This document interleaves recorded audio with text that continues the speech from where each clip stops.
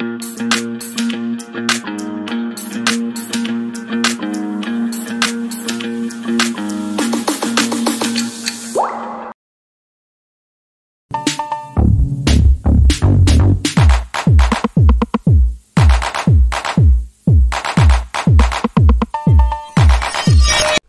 tegeza njala tegeza bana uganda mwena temuwusibwa vidiyo eyafulumya olunaku lwejjo omusabasajja kayagenza okufuna obujjanjabi germany. Yes yafulumye niye yafuluma lwakuna eyo vidiyo nkadde.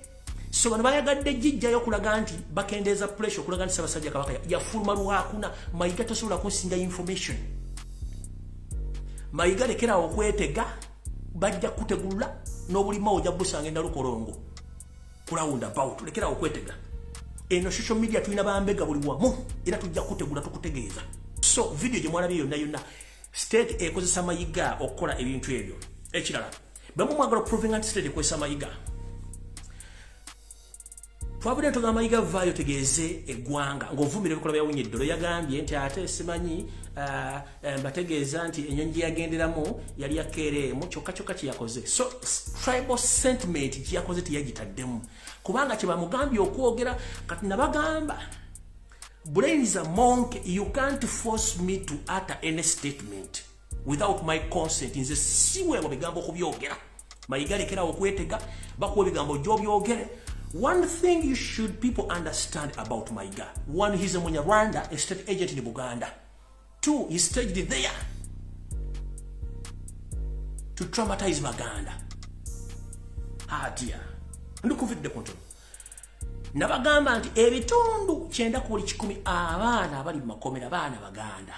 Naye nga 70% of them baliyo ku misango gy'ekusa ku byobufuzi. mayiga takyogerangako kubanga is part of the crew ewayo information y'abaana bakwata olanye yafudde tata naga nti omwana yafudde butwa era ne bagamba twagala kumanya ne twagala kumanya lwaki buli muntu mu buganda statement mayiga Have you ever come out in the have you ever come out publicly and asked the government why the so-called Buganda public figures have been assassinated one by one and you can't even mention? Lastly was the late uh, the, the late uh, the late uh, the, late late Musata. He was assassinated because he had a grudge between him and between him and between him and you. You kept quiet. Kubanga yakuyisamu eggali. That's why you can't talk your state agent. N'abala bangi bafudde. Gwe ng'osirise ate ng'omanyi ne bagenda batano tabagamba. So ekituufu kiri nti omusajja ono Peter Mayiga mwetezi yeetezira yeetega nga mulaba ali mu kwetegera eggwanga akola ebintu ebyayagala okukola. So tuvuumira ekikola ky'abaana Abaganda okubanga bali makomera teri akyogerako. Batulugunyizibwa teri ayogerako babasse teri aboogerako kyokka bali mubwakabaka bali mu buganda bwaffe bwebatudde amataka bagabbye teri aboogerako uh, uh, uh, concentration camp zatandise mu buganda teri akyogerako agawumbidde. Mm. yena akanula amaaso.